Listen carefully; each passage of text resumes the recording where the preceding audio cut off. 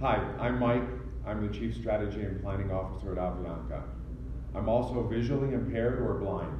Today, what I want to talk to you about is my mobility cane. This is my mobility cane. Watch how quickly it opens up. What do I use this for? Think of it as a sensory device that it helps me find what's around me. Since I can't see, I use this to touch things. And it helps me to walk forward and move about.